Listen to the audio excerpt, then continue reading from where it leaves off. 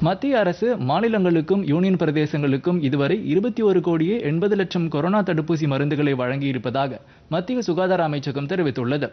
இந்த தடுப்பூசி மருந்துகள் இலவசமாக வழங்கும் திட்டத்தின் கீழும் மற்றும் மாநில அரசுகள் நேரடியாக கொள்முதல் செய்யும் திட்டத்தின் கீழும் வழங்கப்பட்டுள்ளதாக அமைச்சகம் தெரிவித்துள்ளது. தடுப்பூசிகளில் விரயமானவை உட்பட இதுவரை இருபது கோடிக்கும் கூடுதலான தடுப்பூசி மருந்துகள் பயன்படுத்தப்பட்டுள்ளன. மாநிலங்களிலும் யூனியன் பிரதேசங்களிலும் மேலும் ஒரு கோடியே எண்பது லட்சம் கொரோனா தடுப்பூசி மருந்துகள் இருப்பில் உள்ளதாகவும் அமைச்சகம் தெரிவித்துள்ளது. கூடுதலாக நாற்பத்தி எட்டு லட்சம் தடுப்பூசி மருந்துகள் மாநிலங்களுக்கும் யூனியன் பிரதேசங்களுக்கும் அடுத்த மூன்று நாட்களுக்குள் அனுப்பப்பட இருப்பதாகவும் அது கூறியுள்ளது.